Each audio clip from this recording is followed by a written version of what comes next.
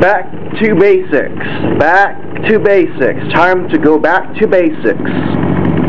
I got my small motor back. Okay. This is my small motor. My old small coil um, that you saw in the Dancing Newman motor video. I finally put this the the shaft, the correct shaft on the small motor. And now it's spinning really fast. Now let's check the voltage, okay? We're going to pull this out because is not supposed to be in the 20 amp port. Right now it's in 20 amp DC.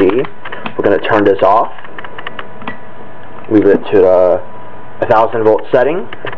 And then we're going to put it, okay. Now what's the voltage? Press. This is 4 volts. Earlier, okay, I had a bunch of voltage, okay. Uh, over 50 something volts, up to 59 volts, including the, this pack over here. But I'm not going to be using 59 volts this time. I'm going to be using 4 volts. 4 volts, back to basics.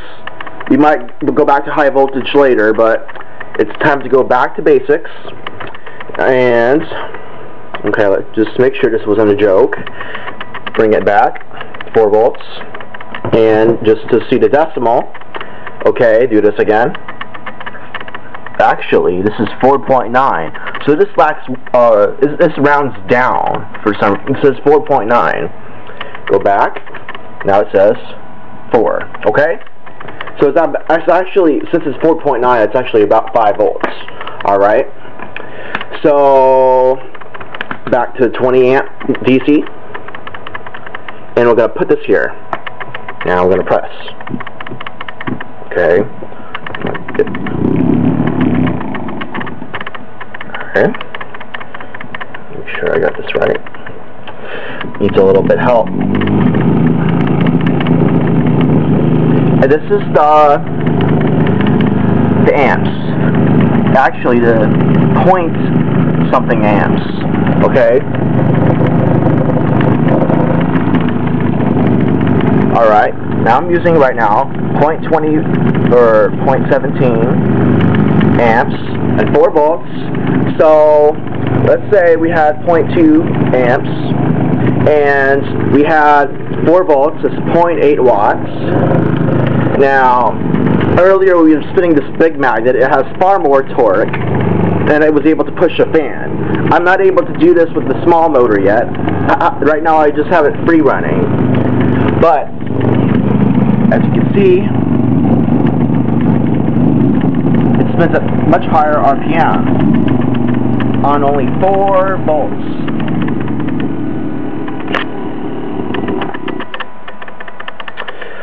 Hmm, well, as fast as it is, this has no way of turning a fan. Like this, this big one can turn a fan for just, for the same power this thing spins. At 4 volts, like I showed you earlier, and between 0.15 and 0.20 amps. Okay, so what's that? It's between 0.6 and 0.9 watts. Almost like this motor, except this has a huge fan. This has no capability of turning that fan because it simply doesn't have the torque. Watch as I do this. Simple. This is the moment I press here and I'm it's not even that much.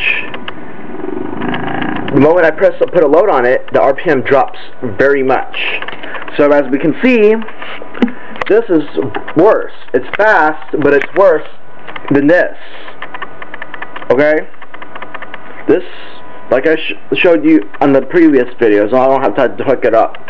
But this is faster, but there's hardly any force to it it stops. It goes really fast, but it has hardly has any force.